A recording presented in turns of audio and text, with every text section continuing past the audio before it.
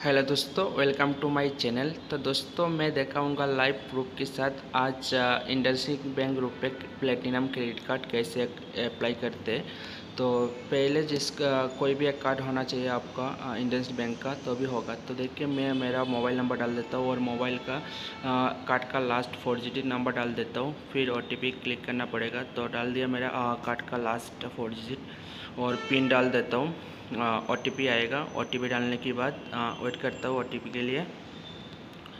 तो O T आ गया। तो मेरा ओ टी फिलअप कर लेता हूँ। ओ टी फिलअप करते ही ये लाइफ टाइम की फ्री साथ मिल जाएगा। पहले से कार्ड होना चाहिए आप इंडस्ट्री बैंक का तो भी मिलेगा। तो मेरे पास आज मेल आया तो मैंने तुरंत ये कर लिया। और उसमें लिमिट स्प्लिट होता है। पहले जो पहले अपना कार्ड का लिमिट रहेगा, उसके से आपका मर्ज़ी मिनिमम ट्वेंटी थाउज़ेंड से शुरू करके आपको जितना रख सकते हो उतना रख रख सकते हो। तो मैंने एक लाख किया क्योंकि मेरा पहला कार्ड का दो लाख बीस हज़ार का था तो इसलिए मैं एक लाख इसमें ट्रांसफ़र कर दिया।